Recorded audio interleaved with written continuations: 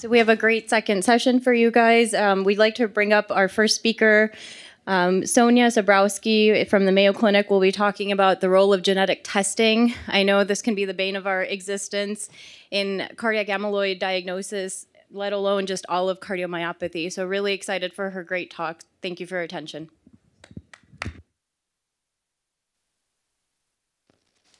All right. Hopefully you can all hear me. Okay, thank you for that introduction, Amber. Um, as she mentioned, I'm a genetic counselor. I work at Mayo Clinic, and I actually serve our adult general genetics population. So I see lots of patients with wide varieties of indications, um, but I'm particularly fond of cardiac genetics. So today I'll be discussing the role of genetic testing in cardiac amyloidosis. So no conflicts of interest to disclose, breeze through that. Um, so given that my focus area is in genetics, uh, it's fitting that the majority of this discussion will focus on identifying hereditary or variant type transthyretin amyloidosis. Um, so thinking about the types of amyloidosis most commonly associated with cardiac manifestations, we've already touched on AL and ATTR. Um, and the ATTR cases, as we've also discussed, can be wild type or hereditary. Um, and genetic testing can help differentiate between the two, which can then help us better understand uh, implications for the patient and their family members. So genetic testing for hereditary TTR uh, amyloidosis involves analysis of the TTR gene. And this gene is located on chromosome 18q12.1 and encodes the transthyretin protein, which again, as discussed previously, is one of the three prealbumins. Um, so I won't talk too much about this since we've already gone over most of it. Um, but pathogenic variants, also known as mutations, uh, in this gene are associated with amyloid deposition, predominantly affecting the peripheral nerves or the heart, um, though there are a small percentage of uh, gene mutations considered to be non-amyloidogenic. Um, so TTR genetic variants are implicated in the etiology of several diseases, um, including amyloidotic polyneuropathy, euthyroid hyperthyroxinemia, amyloidotic vitreous opacities, cardiomyopathy, and carpal tunnel syndrome, as we've discussed previously. Um, and from a molecular standpoint, pathogenic variants in this gene um, are nearly always sequence variants rather than deletions or duplications. So thinking about the inheritance of hereditary ATTR, uh, these variants are inherited in an autosomal dominant pattern. So that means that each child of an individual with hereditary TTR amyloidosis uh, has a 50% chance to inherit this causative variant. And we expect that the affected individual um, inherited the variant from a parent. So we would also anticipate that other first degree relatives, so siblings, parents, um, also have a 50% chance to share the same um, amyloidosis causing variant. Theoretically, there's a chance that somebody's TTR variant could be de novo or new, arising for the first time in themselves, um, but the rate of de novo uh, TTR mutations is currently unknown. Um, and we'll continue to dive into the concepts of incomplete penetrance and variable expressivity as related to this condition, um, but just so we have kind of a framework for uh, what those mean over the next couple of slides. Incomplete penetrance really refers to the idea that not all individuals uh, with a specific genotype will manifest a particular uh, clinical symptoms or characteristics of that, uh, while variable expressivity really refers to the variability of signs and symptoms that can occur in different people with the same genetic condition. And these things, incomplete penetrance, variable expressivity, um, are pretty common in the cardiogenetics world. And for hereditary TTR amyloidosis, there's been quite a bit of investigation done related to genotype phenotype correlations for specific variants. So, for example, uh, the valine 50 methionine vari variant is considered the most widely studied TTR variant. Um, and just to touch on nomenclature again, really what this means is that at amino, amino acid position uh, 50, there should be a valine, and now there's a methionine there. Um, and autonomic neuropathy and peripheral neuropathy are most commonly associated with this variant, um, while cardiac involvement is much less common. And penetrance appears to vary uh, by age, region, or ethnic group. Um, so, just for example, in Portugal, the cumulative disease risk in individuals with this variant is estimated to be at about 91%. Uh, whereas uh, in individuals in France who are heterozygous for this variant, the risk is about 50% by age 70. And in Sweden, the penetrance is much lower, um, estimated to be at 36% by age 70. And in some cases, heterozygotes uh, do remain completely asymptomatic. And then looking at another example, uh, we've also briefly touched on this one previously as well. Um, approximately 3 to 4% of African Americans are estimated to carry the valine 142 isoleucine variant, which may be present in more than 5% of the population in some areas of West Africa. And most individuals um, who are heterozygous for this variant are expected to develop late onset cardiac amyloidosis. So over 140 disease-causing TTR variants have been identified, um, and this table shows a few additional genetic variants with a breakdown of how these variants have been characterized thus far in terms of prevalence, median age of onset uh, at symptom presentation, primary ethnicity, geographical region, cardiac phenotype, other manifestations. Um, and genotyping doesn't provide us with a crystal ball to perfectly predict disease course or outcome, um, but it can help us anticipate general clinical presentation, age of onset, organ involvement, and potential prognosis based on what have been generally seen in individuals with these specific variants.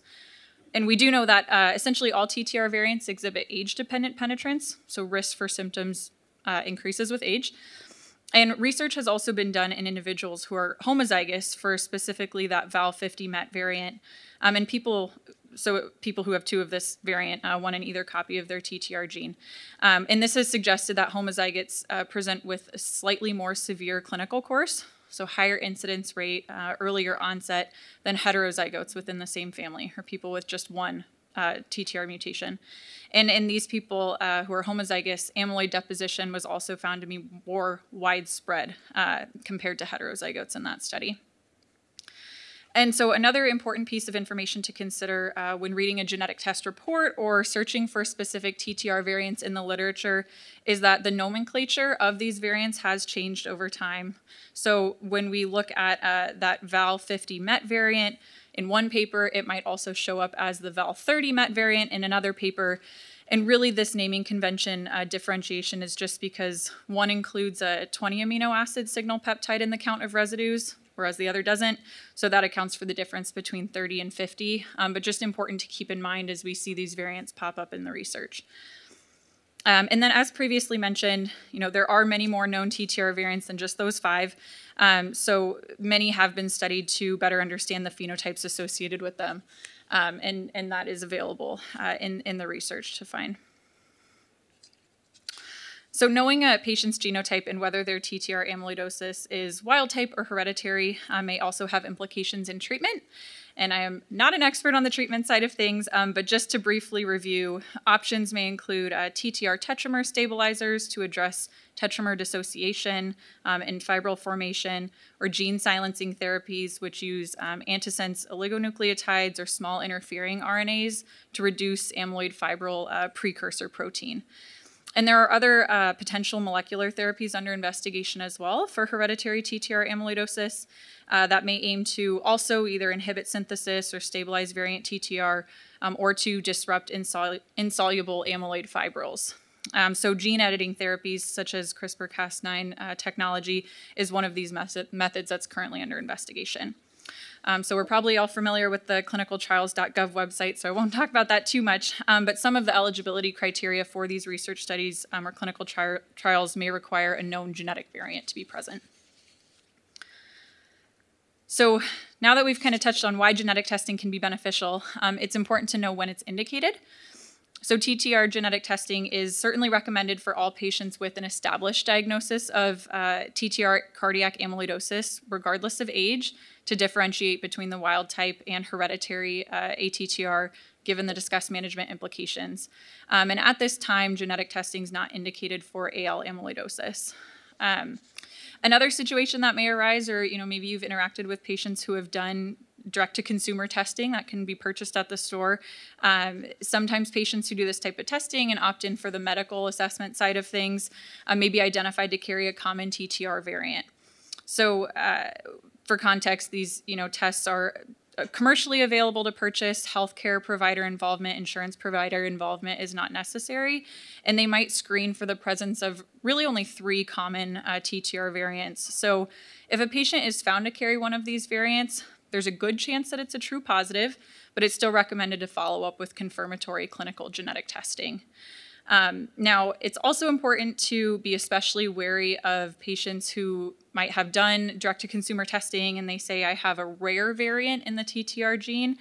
These may pop up um, when patients elect to use their data that they've gotten from direct to consumer testing and upload it to a third party interpretation service. Um, these rare variants that pop up from that type of testing have been known to have a significant false positive rate. So, certainly, clinical uh, confirmatory testing is really recommended in those cases. And on the flip side of that, um, it's also, again, important to recognize that this testing only really screens for those three common variants. So if somebody has a suspicious clinical or family history for hereditary amyloidosis, but they say, oh, I had negative direct to consumer testing, that really doesn't rule out the possibility that this is something hereditary, um, and clinical TTR sequencing would be indicated in that case for a more comprehensive analysis. And then another indication for genetic testing would be if somebody has a known family history of a known TTR variant and they want to know what their risk is. And in that case, it's really helpful for the patient to obtain records of their affected family members' genetic test results so we have reference of what variant we should know to be looking for. And it's important to keep in mind that a negative family history doesn't necessarily rule out the possibility of hereditary TTR amyloidosis. There are several reasons why a family history may appear non contributory, such as the failure to recognize symptoms, um, early death of a parent or, or, or other relatives before onset of symptoms that really never had a chance to present, or given the variable nature of the condition, it's possible that it may not have yet presented itself in a parent or other family members. And then once we have identified, okay, this patient probably needs some genetic testing or, or is recommended to have genetic testing. Um, how do we coordinate that? The testing itself is typically performed using a blood, buccal, or saliva sample. Um, and there are many labs that offer TTR analysis um, as a genetic testing service. So some of these commercial labs who specialize in genetic testing may have convenient insurance billing assistance where they might be able to conduct a benefit investigation for the patient to provide them with an estimated cost of the testing uh, before proceeding with testing. Um, or they might provide them with a self pay option for testing that's typically around $250. Some of these labs also um, have policies to not balance bill patients who are insured through Medicare or Medicaid, so oftentimes testing might be covered for them.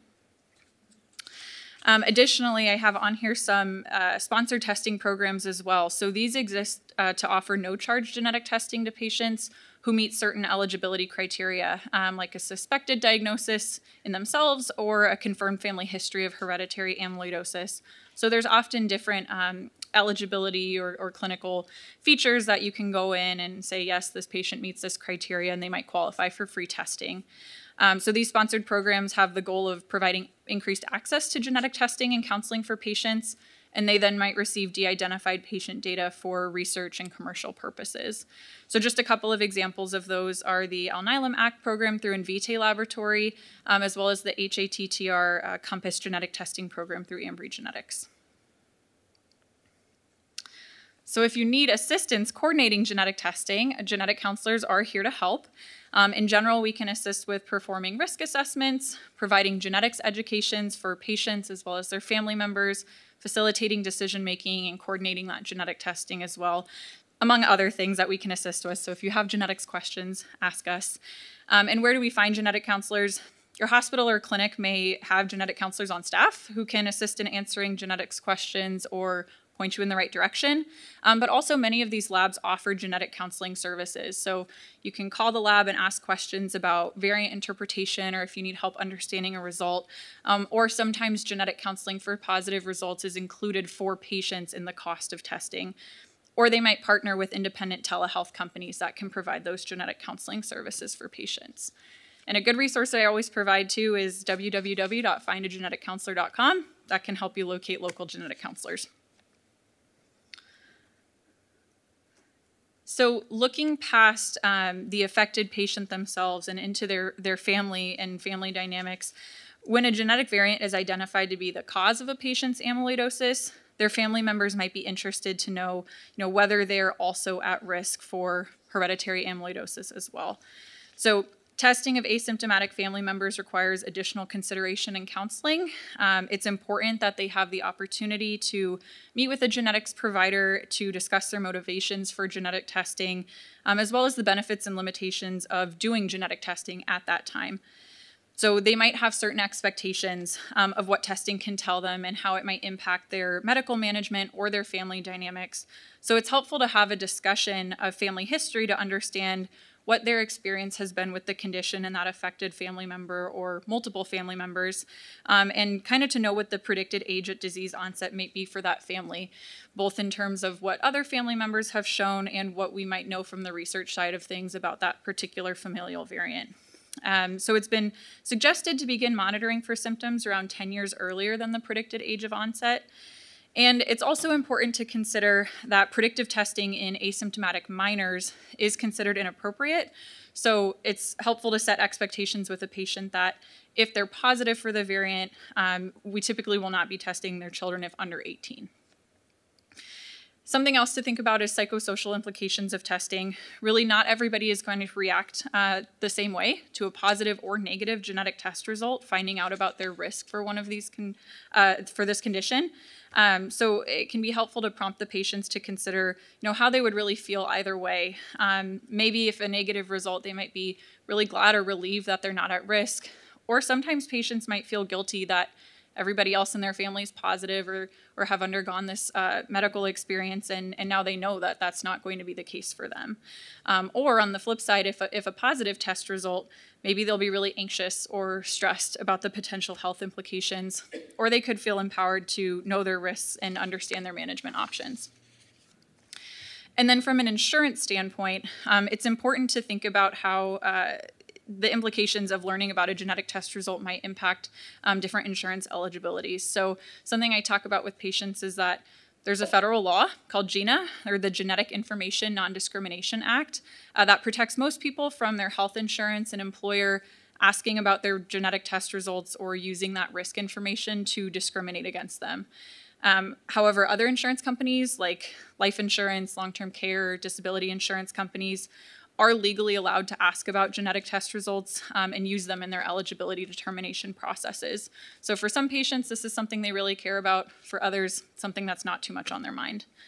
Um, and another reason that individuals might want to know their TTR genetic status is for family planning purposes. So when a person is identified to have a TTR pathogenic variant, um, IVF and pre-implantation genetic testing might be available to select for embryos that don't carry the variant.